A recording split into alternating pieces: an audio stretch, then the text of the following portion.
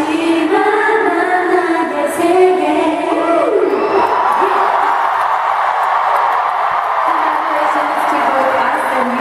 gonna wrap it up with a couple more songs for you guys, okay?